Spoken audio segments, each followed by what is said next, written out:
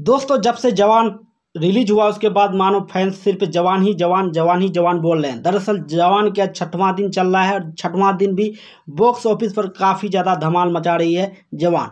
उसको लेकर के, जवान को लेकर के बॉलीवुड के बहुत सारे एक्टर और एक्ट्रेस ने भी अपनी अपनी प्रतिक्रियाएँ काफ़ी ज़्यादा पॉजिटिव दिया। उनमें से सलमान खान और आमिर खान ने जो बयानबाजी किया है आप जान के चौक जाएँगे। दरअसल सलमान खान और आमिर खान ने क्या बयानबाजी किया है जानेंगे इस वीडियो में। उससे पहले मैं आपको बता दूँ कि पठान के बाद जवान जिस प्रकार से कमाई कर रहा है, अभी छठवां दिन लगभग 700 करोड़ का बिज़नेस कर चुका है वर्ल्ड वाइड और अगर हम लोग हिंदी वर्जन में बात करें, यानी कि इंडिया में तो 330 करोड़ का बिज़नेस कर चुका है अब तक, जो कि काफ़ी ज़्यादा बड़ा कमाई कर चुका है जवान ने। इसके बाद शाहरुख खान के एक और मूवी आने वाला है, जिसका नाम है डंकी, जो कि दिसंबर में आने की उम्मीद जताई जा रही है।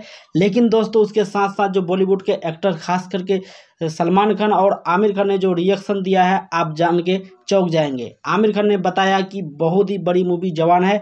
आप सभी लोगों को जवान मूवी देखना काफ़ी ज़्यादा ज़रूरी है, क्योंकि इसमें आपको रोमांस से लेकर के एक्शन के साथ साथ कॉमेडी भी देखने को मिलेगा। और वहीं पे सलमान खान ने बताया कि जल्द ही हम लोग फिर से मिलेंगे, यानी कि शाहरुख खान के साथ सलमान खान काम करेंगे और वो शाहरुख खान के साथ काम करने में उसको काफ़ी ज़्यादा खुशी होगा। वहीं पे आप सभी लोगों का अपनी अपनी प्रतिक्रियाएँ क्या है, अपना प्रतिक्रियाएँ कमेंट बॉक्स में ज़रूर देंगे, क्योंकि आपका प्रतिक्रिया कमेंट बॉक्स में देने से हमारी उत्सुकता बढ़ती है। सो दोस्तों, अगर वीडियो अच्छा लगा होगा तो लाइक करें और इसी तरह का अपडेट पाने के लिए हमारा चैनल को, बॉली फ्रेंड्स को सब्सक्राइब भी करें। फिर मिलते अगले वीडियो में, तब तक के लिए धन्यवाद।